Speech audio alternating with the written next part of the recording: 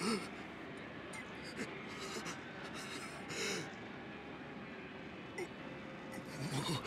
やめてくれ。もう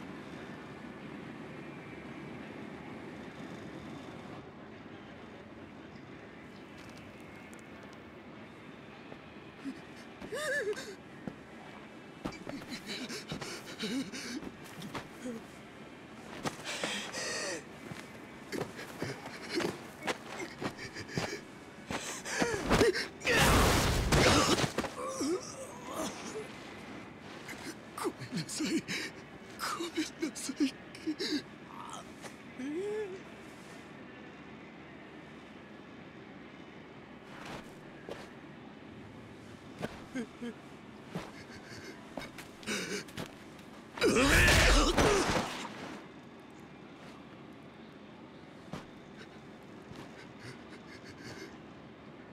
この町で喧嘩売んならちゃんと相手を選べ最近持ち歩いてる時特にな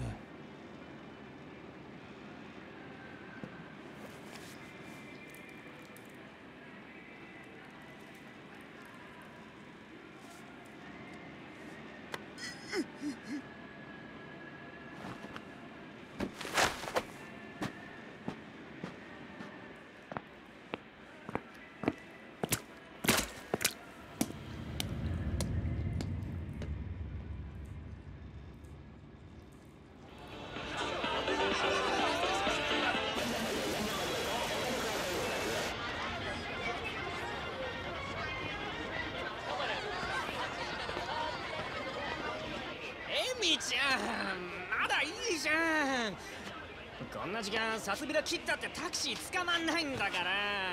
やだもういいから宅代出してよ。あじゃあさプラザのスイートでも取るよ。だから俺と朝まで。ねね？なんだてめえ言ってんだよおいちょっと待てよこれ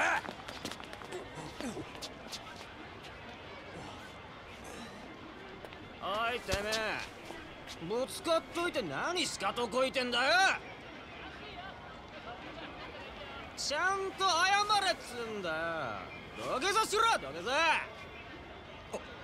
おいよしよよせああ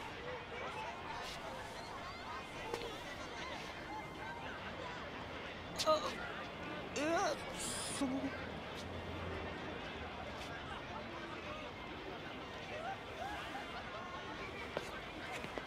どうもすみませんでした。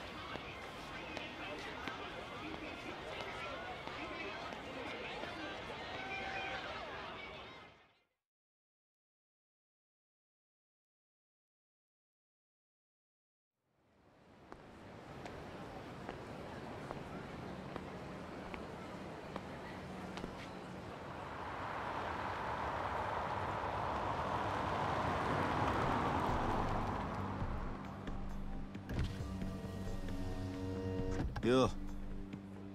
頼んでおいた仕事どう？終わりました。ちょっと封筒が。このままでいいっすか？そんなこと気にしないでいい。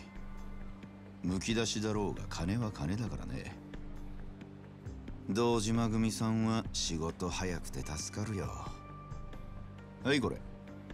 約束の1割。ご苦労さんどうも。でこれは俺からの気持ちね。いやそれは。鳥藩が常識のこのご時世安い取り分でやってもらってんだ。普通なら本職の人にこんな安い額の取り立て頼めないからね。でも。同年代のガキどもが万札ちらつかせてタクシー乗る時代に本職の君が金もないんじゃ様になんねえだろ。まこれは俺との初仕事を終えたご祝儀みたいなもんだ。は取っときありがとうございます。し しかしバカに金貸しちまうと後が面倒でしょうがねえな。30万ポッチ捨てんのは簡単だが回収しとかねえと商売としてのけじめがつかねえ。なあ。ええまあ俺も長いことこの町で金貸しやってるからよくわかる。今の世の中金の本当の価値が分かってるやつなんてほとんどいやしない。その点学のない君の方が高学歴の若造よりよっぽど分かってる気がするんだけど。そうじゃない？俺には分かりません。それじゃこれで。なあうちに来ねえか？兄ちゃん。君の腕っぷしならヤクザやるよりもっと簡単にもっと多くの金が稼げる。いい飯腹いっぱい食っていい女を好きなだけ抱ける。それだけじゃない。金さえあれば不幸な人間を幸せにすることすらできる。ヤクザは下積みが長え手っ取り早くのし上がるにはうちに来て稼ぐってのもいい選択だと思うんだが。3年前にその言葉を聞いてればそうしてたかもしれません。けど一度極道になったもんは時間を巻き戻せない。それが答えか。ヤクザには誰かを幸せにすることなんてできないんすかね。さあな。俺はヤクザになったことねえからわからねえ。ま気が変わったらいつでも連絡してくれ。じゃ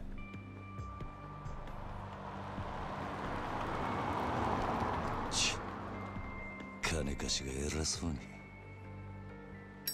めんどくせ